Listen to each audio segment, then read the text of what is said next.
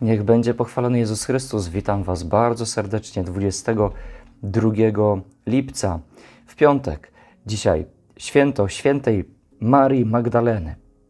Dlatego w Ewangelii usłyszymy fragment y, z opisu relacji Janowej, z zmartwychwstania Jezusa i spotkania się Marii Magdaleny z Jezusem. Będzie to rozdział 20, werset najpierw pierwszy, a potem od 8, przepraszam, od 11 do 18. Posłuchajmy tej Ewangelii. Wcześnie pierwszego dnia tygodnia, kiedy jeszcze było ciemno, Miriam z Magdali poszła do grobu i zobaczyła, że odsunięto kamień z grobu. Miriam stała na zewnątrz i płakała. Płacząc, nachyliła się i zajrzała do grobu i zobaczyła dwóch aniołów w bieli, siedzących tam, gdzie było ciało Jeszui, jeden u wezgłowia, a drugi u stóp. Czemu płaczesz? zapytali. Zabrali mojego pana, odrzekła im, i nie wiem, gdzie go położyli. Kiedy to powiedziała, odwróciła się i zobaczyła stojącego tam Jeszułem, ale nie wiedziała, że to on. Jeszua powiedział do niej: Kobieto, czemu płaczesz? Kogo szukasz? Sądząc, że to ogrodnik, rzekła do niego: Panie, jeśli to ty go gdzieś wyniosłeś, powiedz mi tylko, gdzie go położyłeś, a pójdę i sama go wezmę. Jeszua powiedział do niej: Miriam. Odwracając się, krzyknęła do niego po hebrajsku: Rabbani, czyli nauczycielu. Przestań mnie obejmować, powiedział do niej Jeszua, bo jeszcze nie wróciłem do Ojca. Ale idź do moich braci i powiedz im, że wracam do mojego Ojca i waszego Ojca, do mojego Boga i waszego Boga. Miriam z Magdali poszła do Talmidim z wieścią, że widziała Pana i że tak jej powiedział. Oto słowo Pańskie. Chwała Tobie, Chryste. Kochani, y, ta dzisiejsza święta, święta Maria Magdalena, niesamowicie jest pokazana, jak tutaj ta akcja się niesamowicie rozwija od płaczu, od rozpaczy po radość, radość połączona z dzieleniem się. Ale tak na początku popatrzmy na to i spróbujmy jakoś wyciągnąć może dla nas jakąś lekcję. Po pierwsze, Maria Magdalena e, to w Ewangelii Łukasza było opisane, że Jeszua wyrzucił z niej siedem złych duchów, e, a więc była zatopiona w jakimś wielkim złu. E, I wtedy, gdy otrzymała jakiś dar od Jezusa, dar uwolnienia, była mu wierna. Wierna nie tylko w życiu, ale i po śmierci, bo nie tylko wtedy, gdy go widziała, gdy go dotykała, gdy go słuchała, to była mu wierna, ale i wtedy, gdy Jezusa zabili po ludzku, gdy go z, w grobie złożyli, to ona dalej pozostała przy Jezusie. Można by tak powiedzieć, na dobre i na złe. Wtedy, gdy Jeszua do niej mówił, przemawiał, i wtedy, gdy był martwy, gdy było cicho, gdy była y, jakby ta cisza grobu, ona była przy nim. Ona dalej trwała trwała już w inny sposób, bo to był ból, to było cierpienie.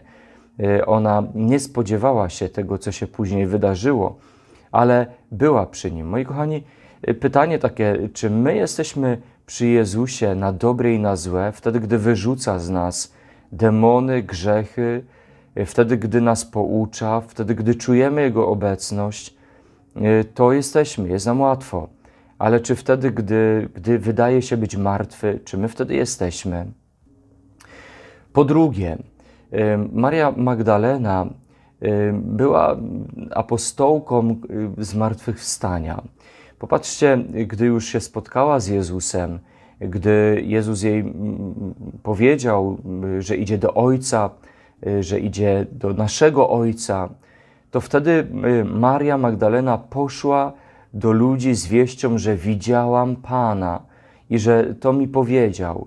ja widziałam Pana, On jest, On żyje, On jest blisko mnie i wielu ludzi mogło ją uważać, zresztą tak gdzieś tam w relacjach jest, że apostołowie nie dowierzali.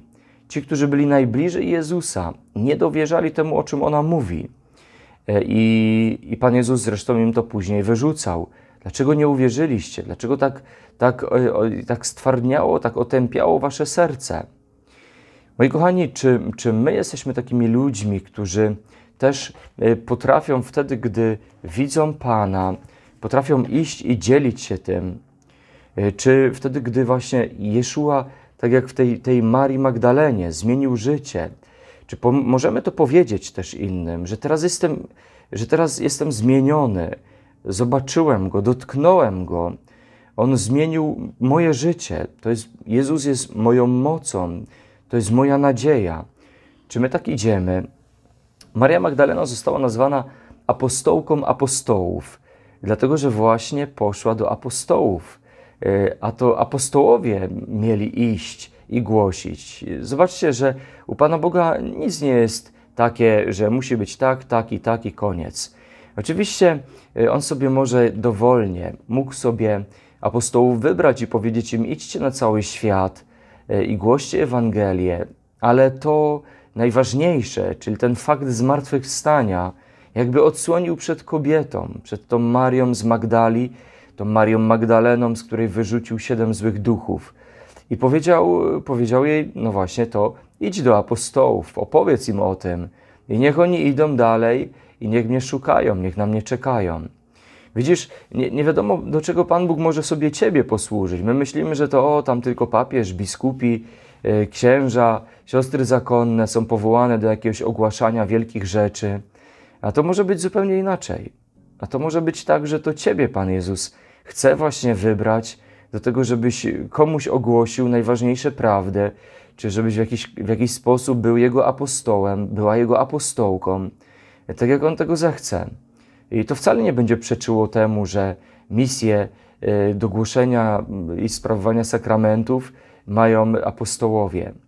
To będzie tylko wypełnieniem, dopełnieniem, tak jak właśnie ta dzisiejsza święta Maria Magdalena. Dlatego miejmy y, najpierw serce rozkochane na dobre i na złe w Jezusie, potem się wpatrujmy, patrzmy, abyśmy umieli innym powiedzieć: Widziałem Pana, y, On zmienił moje życie y, i dlatego Wam o tym mówię. Pan z Wami i z duchem Twoim. Niech Was błogosławi Bóg Wszechmogący, Ojciec i Syn i Duch Święty. Amen. Idźcie w pokoju Chrystusa. Bogu niech będą dzięki. Życzę Wam błogosławionego dnia e, i życzę takiego mm, naśladowania właśnie świętej Marii Magdaleny, by pójść i mówić to, co widzieliśmy, co usłyszeliśmy od Jeszui. I do zobaczenia jutro, oczywiście, jeśli Bóg da. Z Panem Bogiem.